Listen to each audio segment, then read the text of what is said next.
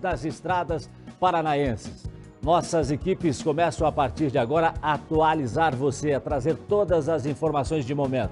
A chuva não para na região de Curitiba e também do litoral. A situação pode ficar ainda mais complicada. A partir de agora, uma cobertura completa e exclusiva que você só vê aqui no Balanço Geral, no maior programa da hora do almoço. Nós vamos juntos até às 2h20 da tarde com muita informação para você. Obrigado pela sua companhia.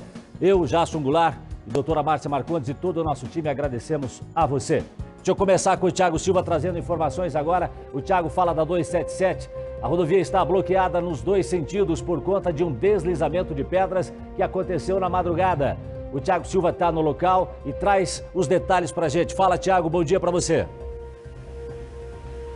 Oi, Jason, bom dia para você, bom dia para quem está acompanhando aqui o Balanço Geral. São imagens em primeira mão. Nós estamos aqui no quilômetro 40 da BR-277, local onde aconteceu o deslizamento de pedras, fez com que a rodovia eh, fosse fechada por volta das 7 horas. A gente acompanhou, já Goulart, todo o transtorno dos motoristas que precisam passar aqui pela BR-277 durante esta quinta-feira. A BR fica fechada, a BR permanece fechada, geólogos estão neste ponto aqui, técnicos do DENIT também pessoal da Defesa Civil, porque existe, Jason, o risco de pedras deslizarem. Durante toda a manhã desta quinta-feira, funcionários aqui, técnicos, eles soltaram algumas pedras que se desprenderam por conta do temporal, por conta do mau tempo que atinge aqui a, a região da Serra do Mar, do quilômetro 40, bem pertinho do viaduto aqui é, dos padres. Nós estamos a poucos metros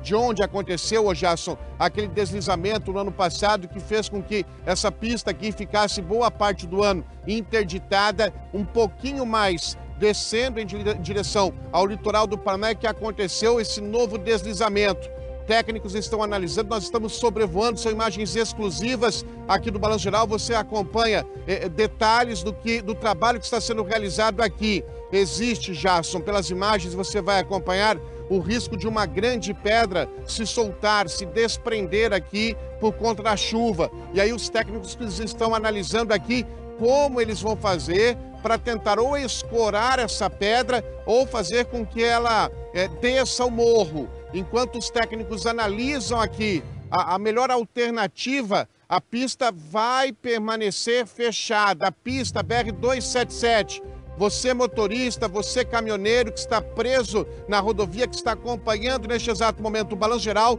a pista segue assim, fechada. Durante toda a manhã, ô Jason, nós encontramos aqui tempo ruim, neblina aqui na BR-277 e muita chuva aqui próximo ao quilômetro 40, o que dificulta, inclusive, o trabalho dos técnicos. Como você pode acompanhar nas imagens aéreas e exclusivas aqui do Balanço Geral, o pessoal está lá em cima da montanha, os técnicos e geólogos estão analisando o que acontece lá em cima no morro, enquanto parte da equipe fica aqui embaixo para saber o que acontece. Estou acompanhando aqui que tem um caminhão, tem um trator, né, um outro caminhão mais abaixo ali, mas o pessoal do, do, do trabalho pesado ainda não entrou em ação, porque o pessoal está analisando a melhor alternativa para retirar essa pedra grande, essa pedra gigante que corre o risco de deslizar e atingir pessoas que porventura estejam passando aqui na BR 277.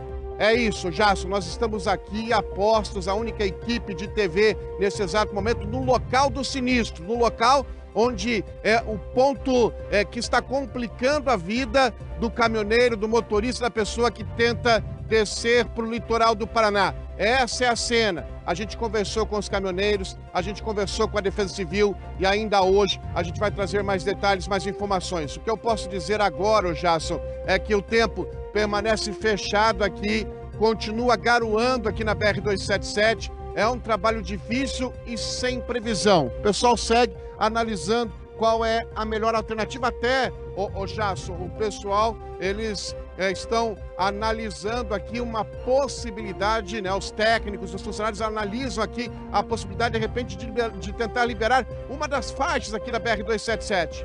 Mas, por enquanto, isso ainda é prematuro. Geólogos estão lá em cima e o Balanço Geral acompanha do local, o trabalho sendo realizado agora por aqui, ô Jason. Obrigado, Tiago. Obrigado também ao Chinaço, que está operando o nosso drone, trazendo imagens aéreas de toda essa condição da 277 nesse momento. Tiago está lá, no local onde, inclusive, houve o deslizamento. Obrigado, Tiago. Volta daqui a pouquinho. A Thaís Camargo está na sede da Polícia Federal aqui no Paraná. Todo mundo precisa, precisa de orientação, né? Afinal, como a PRF se preparou para organizar essas filas, liberações, bloqueios, enfim, contornar essa situação, Thaís? Bom dia para você. Oi, Jason, um bom dia para você, um bom dia a todos.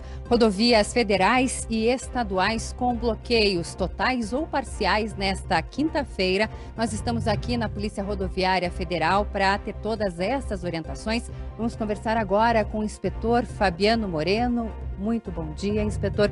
Quais as orientações para a população nesse momento? Bom dia, Thaís. Bom dia, Jason.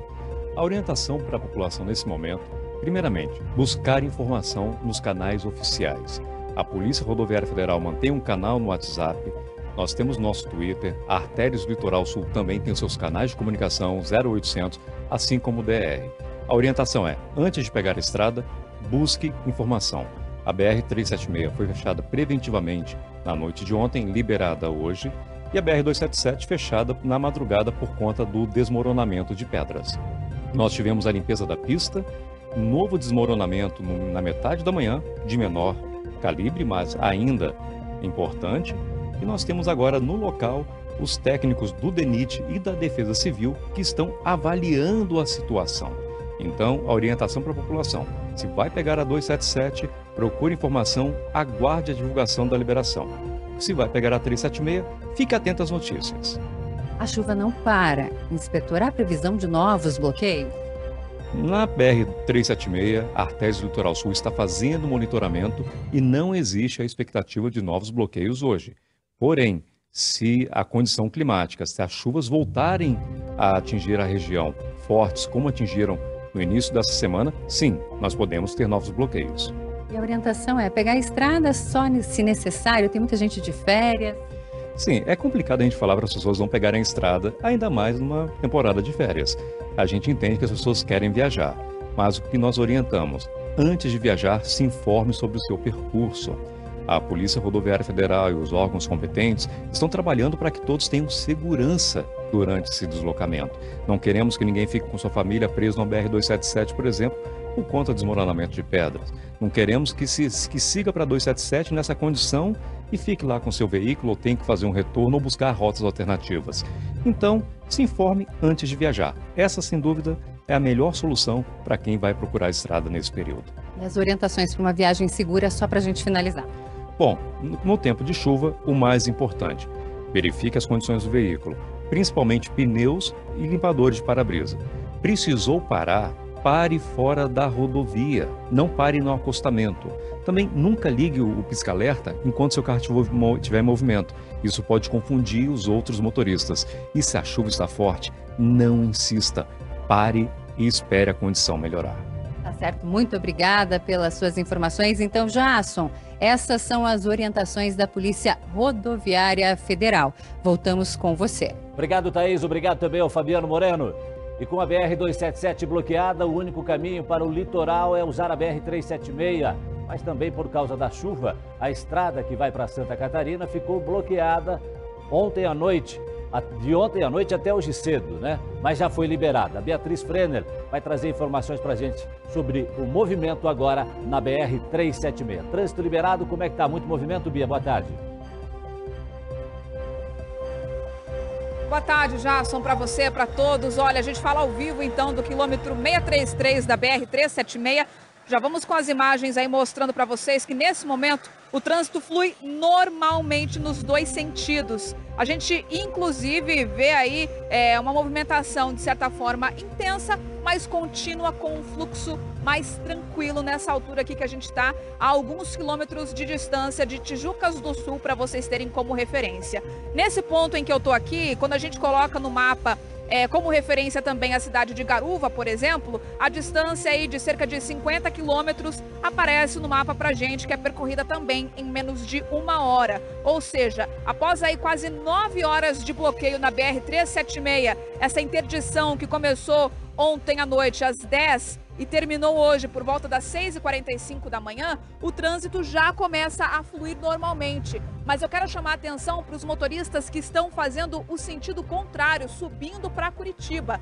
Quem está retornando para a capital ainda encontra trânsito intenso, principalmente lá na região de Serra. A gente consegue também monitorar isso através dos mapas, dos aplicativos, os pontos aí onde existem acidentes leves de trânsito que são provocados por conta desse congestionamento maior e também aquela questão dos veículos que apresentam falhas mecânicas, acabam parando na lateral da pista. Na realidade aí é um conjunto de fatores que fazem com que o trânsito fique mais intenso.